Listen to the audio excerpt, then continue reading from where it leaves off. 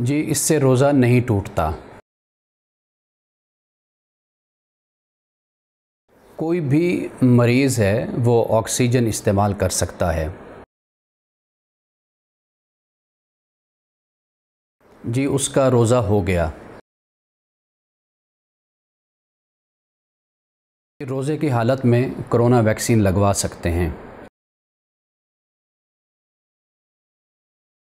रमज़ान में नेकी का सवाब अगर कई गुना बढ़ जाता है तो ये जहन में ज़रूर रखना चाहिए कि अगर हम माह रमज़ान में इरादतन जानबूझकर हम अगर गुनाह करते हैं तो उसकी सज़ा और उसका वबाल भी कई गुना बढ़ जाता है।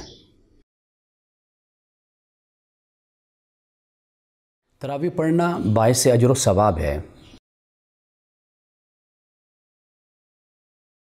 गुज्त साल के रोज़ों की वो हैसियत बरकरार रहेगी, जब तक वो उन्हें अदा नहीं कर लेता, वो उसके ज़िम्मे रहेंगे।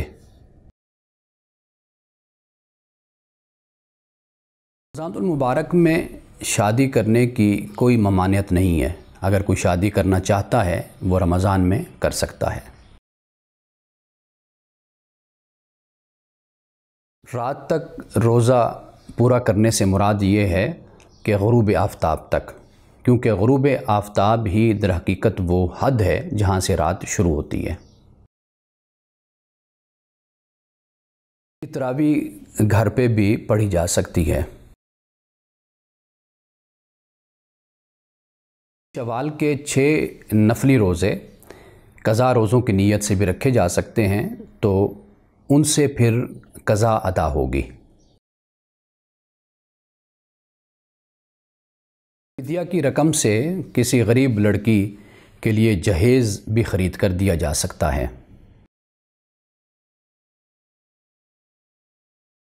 जी नाबालिग लड़का नमाज़ तरावी पढ़ा सकता है।